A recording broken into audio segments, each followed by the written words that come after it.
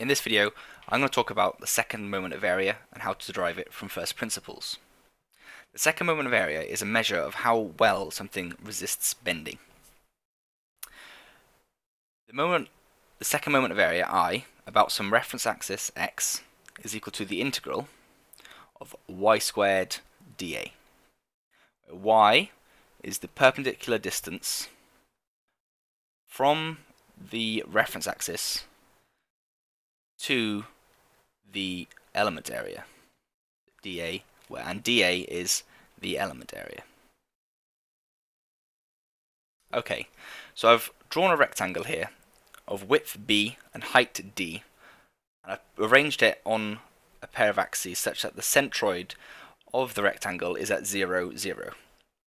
I've also highlighted an elemental strip of this rectangle of width b and height delta x which is the distance x from the axis. Now I can apply this formula to the shape in order to get the second moment area of this rectangle. So if we say that i about x is equal to the integral, now we want to go across the whole area and from the way I've drawn my strips you should be able to see that the limits we need to take are from minus d over 2, i.e. from here, all the way up to d over 2. So they're my limits. The perpendicular distance from the reference axis, x, to the element I've defined as x. So that's x squared because it's a y squared term here. Now the element elemental area is b times delta x. That's dA.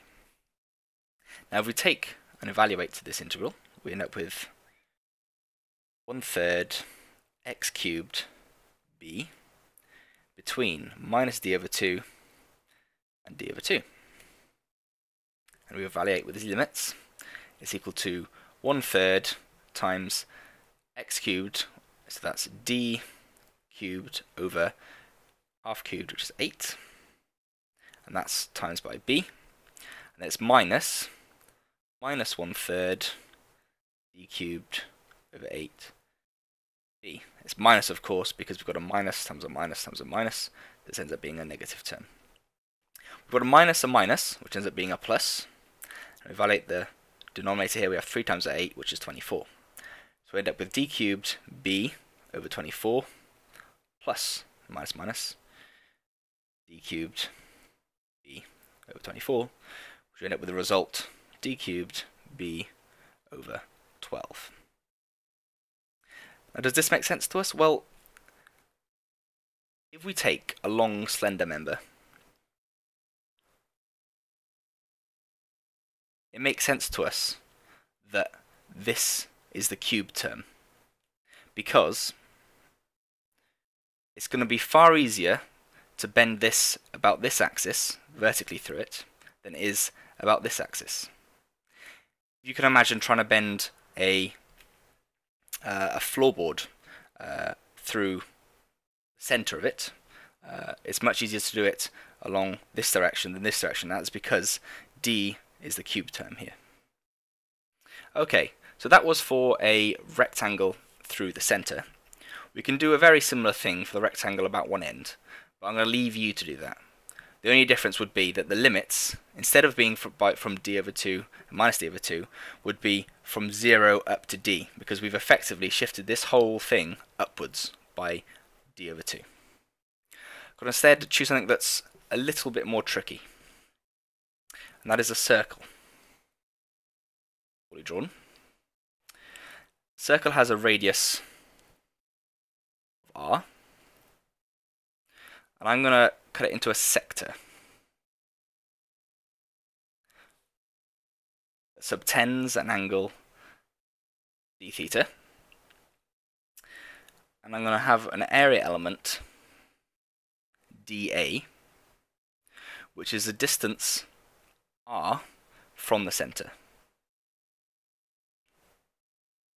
I draw my axis through the center here and define this as a theta, the distance, the angular distance from the horizontal line to the sector, we can start formulating our equation for the second moment of area.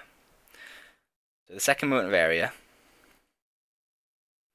I, we call this x about reference axis s x is equal to the integral of y squared dA. Okay, well in this example, the area element, the distance from the axis is this distance in here, which we should be able to see is r sine theta. If we, if we highlight this triangle in here, I'll draw it outside, we have a triangle that has r on the hypotenuse and theta in here. So this vertical distance is r sine theta. Now what about the area of this element here? There's a number of ways we can do this. The easiest way is to take the area of this sector and then differentiate that with respect to r. The area of a sector, you should know, is 1 half r squared theta. When we differentiate this respect to r, so dA is equal to, that ends up being r dr d theta. So now if we substitute these in to the integral, we end up with i x is equal to double integral, because we're integrating, if you like, from 0 to the end here, but also all the way around the circle.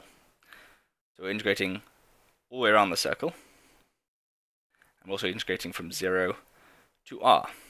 And of y squared, well, y is equal to r sine theta, so it's r squared sine squared theta, times by the area element, which is r dr d theta. Which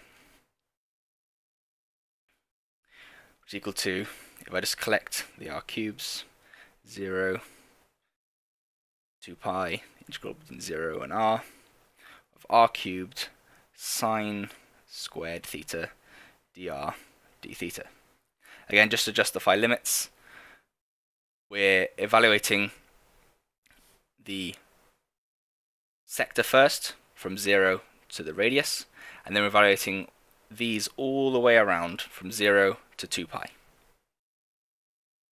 Okay, so dealing with double integrals, we deal with the inner integral first, then we deal with the outer integral. And when we're dealing with the integral, if we're not uh, integrating with respect to the variable we're talking about, we can consider it a constant. So, this is equal to the integral between 0 and 2 pi of r to the fourth over 4 between 0 and r of sine squared theta d theta. Effectively, the sine squared is treated as a constant for this, and so it's not considered. So that's equal to, once we substitute r into here, I'm going to pull it out the front as a constant, r to the fourth over 4 times the integral between 0 and 2 pi of sine squared theta d theta. So this, I just go across, I'll take this back up here now. So that's r to the fourth over 4, the integral between 0 and 2 pi. Now, we can't integrate products of sines, cosines, or, or tangents. So we're going to have to convert this into a double angle. Now, I know that sine squared theta is equal to 1 half minus 1 half cosine of 2 theta.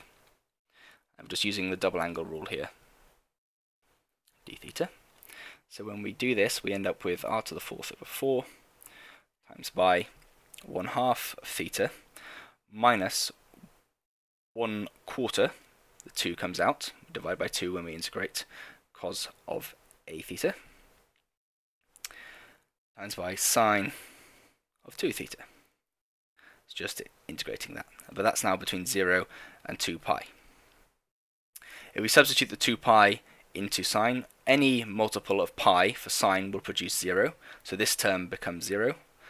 0 in for sine also produces 0, so it's only going to be 2 pi in for the first term, so that equals to r to the fourth over 4 times by 1 half 2 pi, which is equal to r to the fourth pi over 4.